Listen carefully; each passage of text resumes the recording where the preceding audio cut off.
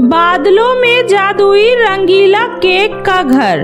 यह कहानी गंगापुर में रहने वाली एक लड़की काव्या की है। काव्या अपनी दादी के साथ रहती थी। काव्या के माता पिता का कुछ साल पहले ही सड़क दुर्घटना में मृत्यु हो गई थी। काव्या को पढ़ाई लिखाई में बहुत ही रुचि थी, लेकिन पैसों की कमी की वजह से वो अपनी पढ़ाई पूरी नहीं कर पाई। काव्या के घर की आर्थिक स्थिति बहुत ही खराब थी। इसलिए वो अपने घर का खर्चा चलाने के लिए एक बेकरी के दुकान में काम करने लगी। काव्या को बहुत ही अच्छा केक बनाना आता था, जिस वजह से उस बेकरी की मालकिन अनुराधा भी उससे बहुत खुश रहती थी। लेकिन अनुराधा बहुत ही लालची और स्वार्थी महिला थी। वह काव्या से पूरा दिन काम करवाती और उसे बदले में बहुत ही कम पैसे देती थी। ऐसे ही कुछ दिन बीत जाता है। एक दिन अनुराधा काव्या से कहती है, काव्या, आज हमें पूरे पचास केक बनाने का ऑर्डर मिला है। तुम्हारे हाथ का बना हुआ केक सभी ग्राहकों को बहुत ही पसंद आता है।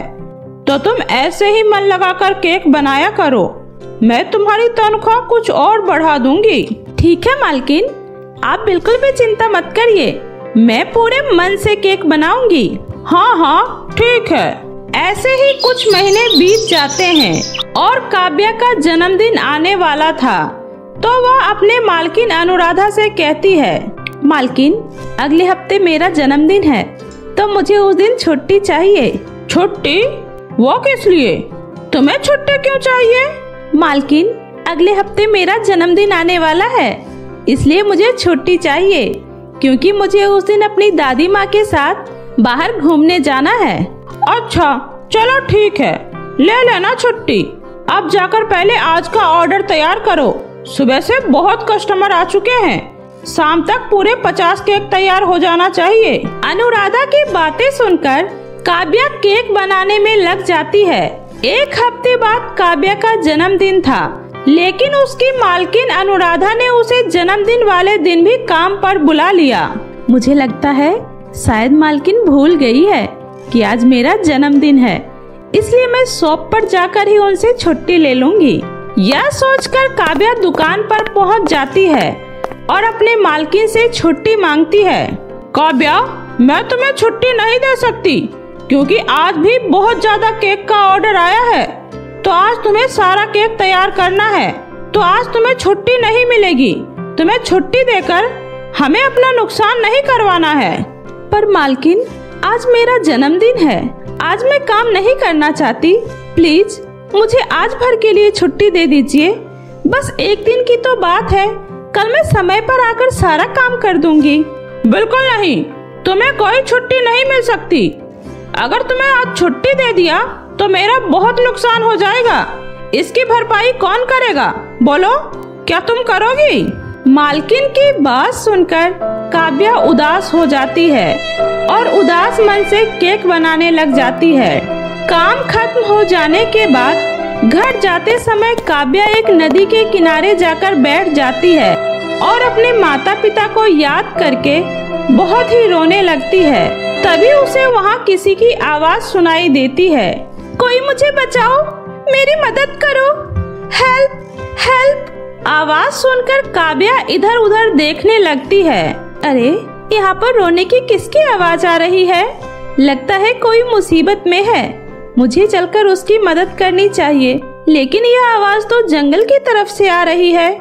मुझे वहाँ जाकर देखना चाहिए। यह सोचकर काव्या जंगल की ओर जाने लगती है। कुछ दूर चलने पर वो देखती है। कि एक परी पेड़ में रस्सियों से बंधी हुई है और मदद के लिए चिल्ला रही है।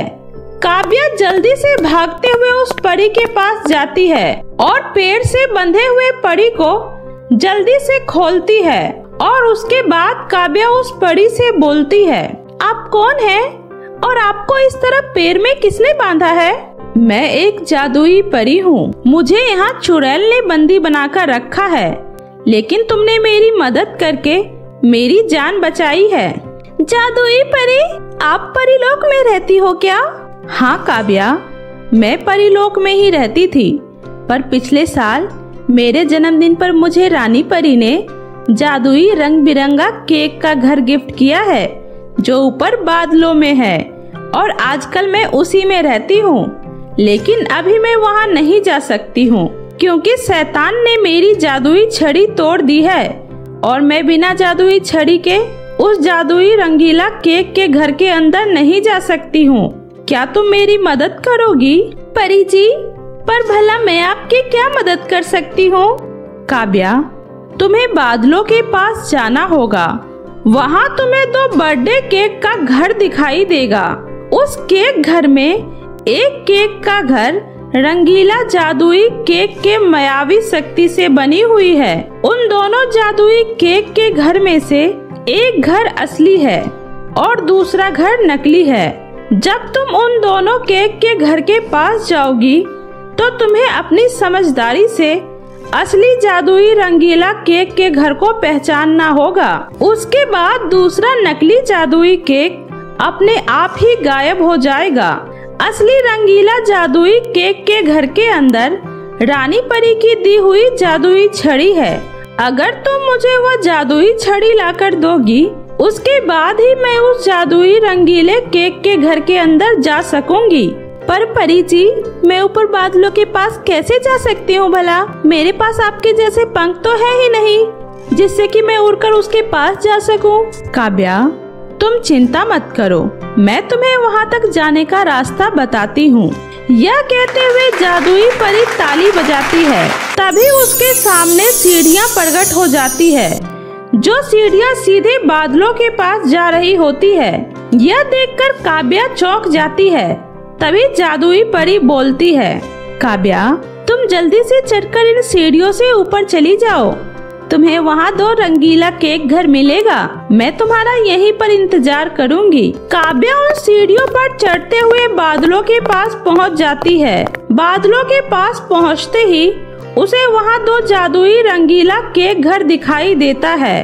जैसे ही वह रंगीला केक के घर के पास पहुँचती है तभी पहले केक घर से आवाज़ आती है। तुम्हारा स्वागत है इस जादुई रंगीले केक की दुनिया में। मैं जादुई केक हूँ। अगर तुम मेरे घर के अंदर आओगी तो तुम्हें जो चाहिए, वह सब कुछ मिलेगा।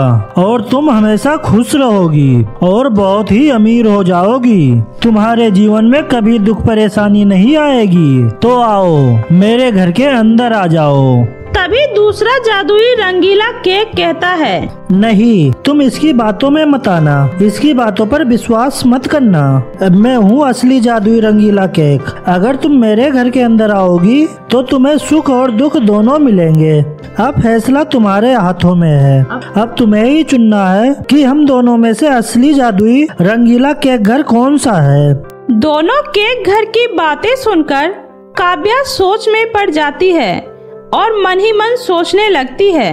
पहले जादुई रंगीला केक के घर के अंदर सिर्फ़ सुख ही है, लेकिन दूसरे जादुई रंगीला केक के घर के अंदर सुख और दुख दोनों है। और ज़िंदगी में कभी केवल सुख हो ही नहीं सकता, क्योंकि इंसान की ज़िंदगी में सुख और दुख दोनों जीवन साथी के तरह होता है। इसका मतलब दूसरा केक ही असली जादुई रंगीला केक घर है। यह सोचकर काव्या ने कहा, मुझे दूसरे जादुई रंगीला केक घर के अंदर जाना है। काव्या के इतना बोलते ही पहला रंगीला केक का घर अपने आप गायब हो जाता है। वहीं दूसरे रंगीले केक के घर का दरवाज़ा अपने आप ही खुल जाता है। जैसे ही काव्या जादुई रंगीला केक के घर के अंदर जाती है, तब वह देखती है कि उस घर के अंदर सब कुछ मौजूद था। फिर वो टेबल पर रखा हुआ जादुई छड़ी लेकर जादुई परी के पास लौट आती है। यह देखकर जादुई परी बहुत ही खुश होती है और काव्या से बोलती है, काव्या, तुम बहुत ही अच्छी हो। तुमने लालच बिल्कुल भी नहीं किया। मैं तो बस तुम्हारी परीक्षा ले रही थी और तुम मेरी परीक्षा में खरी उतरी हो। तुमने इस जादुई छड़ी का बिल्कुल भी गलत इस्तेमाल नहीं किया है। मुझे किसी शैतान ने कैद नहीं किया था। मैं तो बस तुम्हारी परीक्षा ले रही थी और मैं परीलोक की जादुई परी हूँ। तुम मेरी परीक्षा में खरी उतरी हो और मुझे यह भी पता है कि आज तुम्हारा जन्मदिन है, इसलिए मैं तुम्हें एक जादुई रंगीला केक गिफ्ट कर रही हूँ। यह कहते हुए जादुई परी अपनी जादुई छड़ी घुमाती है और देखते ही देखते काव्या के सामने एक जादुई रंगीला केक का घर प्रकट हो जाता है। काव्या? अब से यह जादुई रंगीला केक घर तुम्हारा है। अब हर साल तुम अपना जन्मदिन खुशी खुशी मनाना और अब तुम्हें किसी दूसरे के यहाँ केक बनाने की कोई ज़रूरत नहीं है। इस जादुई रंगीला केक घर की मदद से तुम अपना खुद का बेकरी खोलना और खुद का बिज़नेस स्टार्ट करना। यह सुनकर काव्या बहुत ही खुश हो जाती है। और खुशी खुशी जादुई परी का धन्यवाद करती है। और फिर अपनी दादी माँ के साथ खुशी खुशी जादुई रंगीला केक के घर में रहने लगती है। जादुई रंगीला केक की मदद से काव्या ने अपना खुद का केक का बेकरी खोल लिया और कम से कम दामों में केक बेचने लगी। और गरीब और अनाथ बच्चों को हर साल अपने जन्मदिन पर नए नए कपड़े और तरह तरह के केक बांटने लगी। तभी एक दिन काव्या की तरक्की देखकर उसकी मालकिन अनुराधा को अपनी गलती का एहसास होता है और अनुराधा काव्या के पास जाती है और बोलती है काव्या बेटा मुझे माफ़ कर दो। मैंने तुम्हारे साथ बहुत गलत किया। अरे कोई बात नहीं मालकिन। काव्या की ज़िंदगी में अब खुशियाँ ही खुशियाँ थी। ये सब जादुई परी के जादुई रंगीले केक की वजह से संभव हो पाया था। अब काव्या अपनी दादी माँ के साथ खुशी खुशी अपना जीवन व्यतीत करने लगी। जादुई तीन मखमली गाउन। यह कहानी रामपुर गाँव की है, जहाँ एक शंकर नाम का आदमी अपनी दो बेटी और अपनी पत्नी के साथ रहता था। शंकर की दोनों बेटियाँ जुड़वा पैदा हुई थी, इसलिए उन दोनों का नाम आरती और माला रखा गया। और वो अपने परिवार के साथ खुशी खुशी रहती थी। उन लोगों की ज़िंदगी में किसी भी तरह की कोई परेशानी नहीं थी। तभी ऐसे ही कुछ दिनों बाद आरती और माला का जन्मदिन आता है। तभी जब उस दिन वह दोनों सोकर उठती है तो वह देखती है कि उनके सामने उनके माता पिता खड़े हैं और उनके उठते ही वे लोग उन्हें जन्मदिन विश करते हैं। और तभी वह दोनों बहनें बहुत ही ज़्यादा खुश हो जाती है और उसके बाद उनके पिता कहते हैं आज मैं बहुत खुश हूँ क्योंकि आज मेरी दोनों बेटियों का जन्मदिन है। इसलिए मैं चाहता हूँ तो क्यों न आज हम लोग कहीं बाहर घूमने चले? हाँ आप सही कह रहे हो पिताजी। आज हम लोग कहीं बाहर घूमने चलते हैं। बहुत मज़ा आएगा। बाहर घूमने जाने की बात सुनकर वे दोनों बहनें बहुत खुश हो जाती है। तभी थोड़ी देर में उसका पूरा परिवार घूमने जाने के लिए तैयार हो जाता है और फिर वह बाहर घूमने जाने के लिए चले जाते हैं। आज शंकर का पूरा परिवार बहुत खुश था, लेकिन उन लोगों को इस बात का जरा भी अंदाज़ा नहीं था कि उन लोगों की यह खुशी सिर्फ़ चंद मिनटों की ही है, क्योंकि तेज स्पीड में गाड़ी चलाने की वजह से उनकी कार का एक ट्रक के साथ एक्सीडेंट हो जाता है और इस सड़क हादसे में उसकी माँ सावित्री का वहीं पर देहांत हो जाता है। कुछ लोग शंकर और उनकी दोनों बेटियों को हॉस्पिटल लेकर जाते हैं और वहाँ पर उनका कई दिनों तक इलाज चलता है। तभी जब शंकर को होश आता है तो डॉक्टर उसे उसकी बीवी के मौत की खबर देते हैं। यह सुनकर शंकर पूरी तरह से टूट जाता है और ज़ोर ज़ोर से रोने लगता है। जब यह बात उसकी दोनों बेटियों को पता चलती है तो वे दोनों भी फूट फूट कर रोने लगती है। उन लोगों की ज़िंदगी से तो जैसे खुशियाँ ही चली गई थी, क्योंकि अब वह लोग न ही किसी से बात करते और न ही कुछ खाते पीते थे। वे लोग बस अपने कमरे में ही दिन भर उदास बैठे रहते थे। और शंकर को तो घर चलाने के लिए काम पर जाना ही पड़ता था, लेकिन वो अपनी बेटियों के लिए बहुत परेशान होता था। तभी एक दिन शंकर जब घर आता है तो उसकी दोनों बेटियाँ उनसे कहती है, पिताजी, क्या अब हमारी माँ हमारे पास कभी नहीं आएगी? हाँ पिताजी प्लीज़ बताओ ना, अब हमारी माँ हमारे पास कभी नहीं आएगी क्या? तुम चिंता मत करो मेरी बेटियों। तुम्हारी माँ तुम्हारे पास एक दिन ज़रूर आएगी और मैं तुम लोगों के लिए तुम्हारी माँ ज़रूर लाऊँगा। शंकर ने अपनी बेटियों को तसल्ली देने के लिए यह बात कह तो दी, लेकिन उसे यह बात खुद भी नहीं पता थी कि वह उन लोगों के लिए उनकी माँ कहाँ से लेकर आएगा। तभी शंकर दूसरी शादी करने की सोचता है। वह कुछ ही दिनों के बाद काजल नाम की औरत से दूसरी शादी कर लेता है, क्योंकि काजल के पति की भी कुछ समय पहले एक बीमारी की वजह से मौत हो गई थी, और उसकी भी एक बेटी थी सोनम। काजल और उसकी बेटी सोनम को देखकर आरती और माला बहुत ही ज़्यादा खुश हो जाती है, क्योंकि उन्हें लगता था कि उनकी नई माँ उन्हें उनकी माँ की तरह ही प्यार करेगी। लेकिन ऐसा कुछ नहीं होता है। कुछ समय तक तो सब कुछ बिल्कुल ठीक चलता है। लेकिन कुछ समय के बाद काजल ने भी अपना असली रूप दिखाना शुरू कर दिया। वह आरती और माला के साथ सौतेला व्यवहार करने लगी।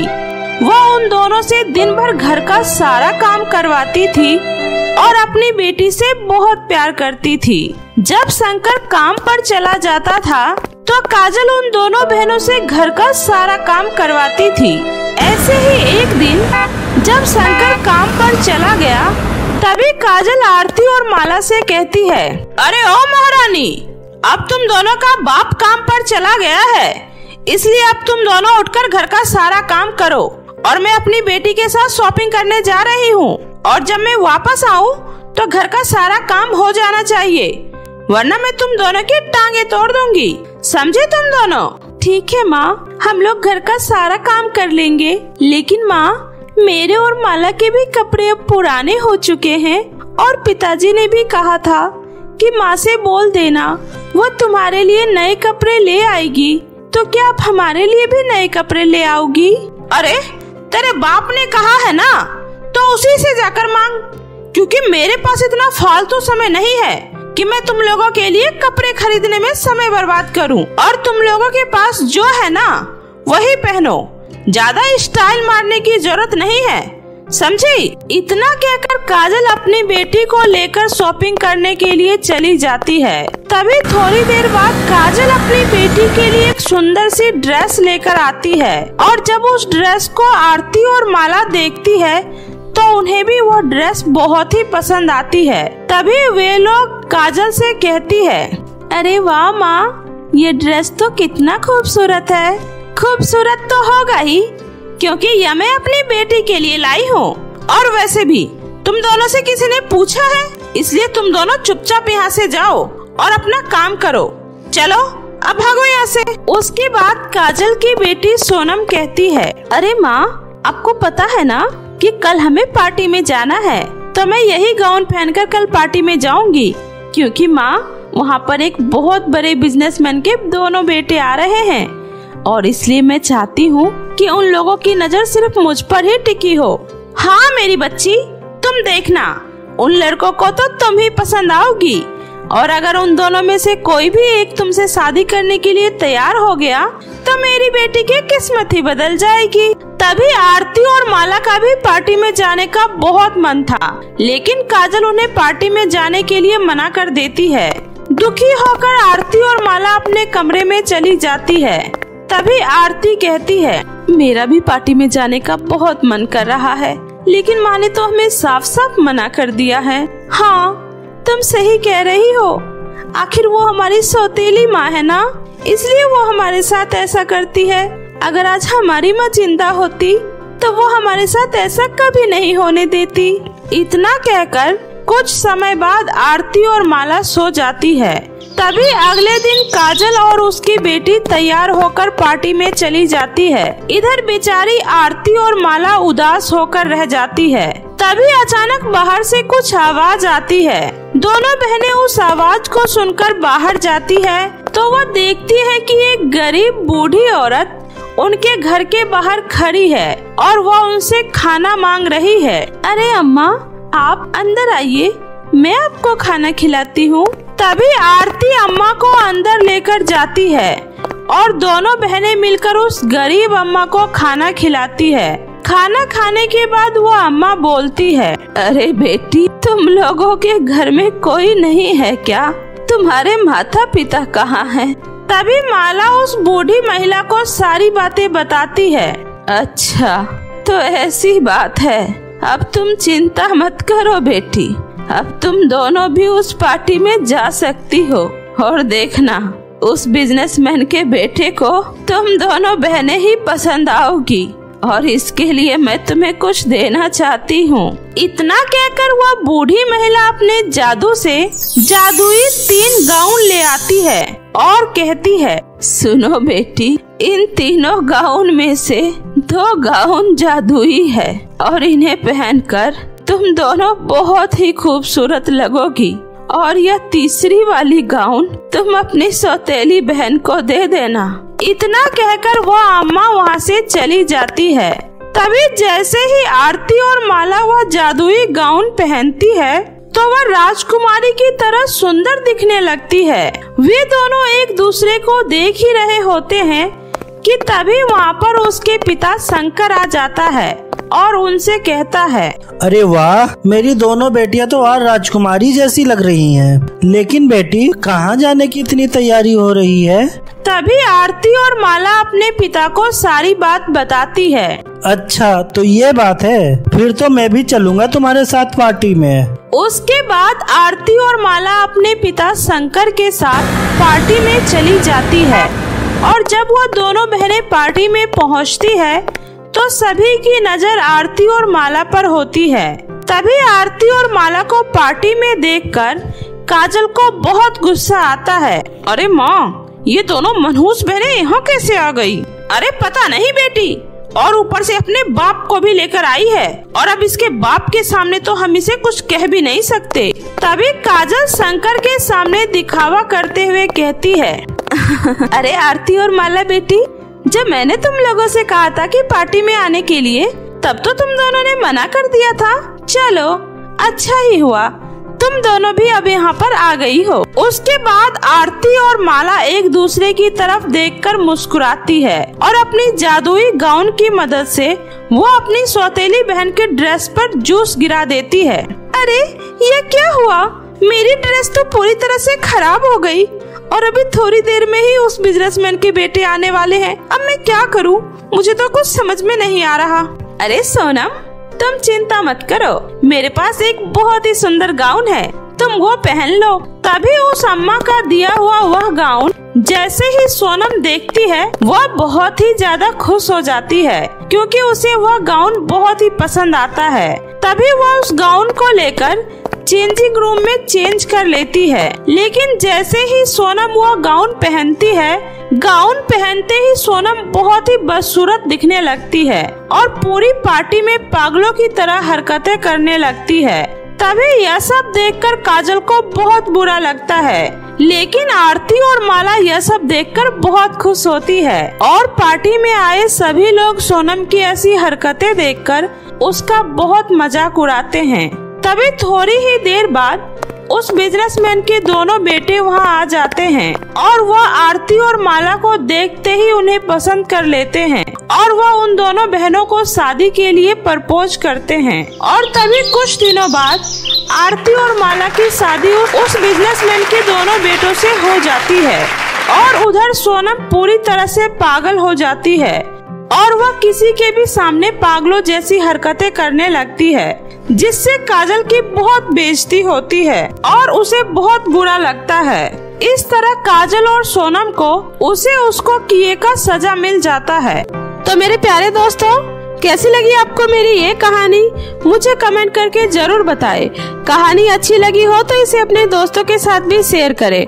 और हाँ दोस्तों, अगर आपने अब तक मेरे चैनल जादुई टीवी को सब्सक्राइब नहीं किया है तो जल्दी से नीचे लाल बटन दबाकर अभी सब्सक्राइब कर ले। तो मिलते हो फिर किसी ऐसे ही जादुई मज़ेदार कहानी के साथ। तब तक अपना ध्यान रखे।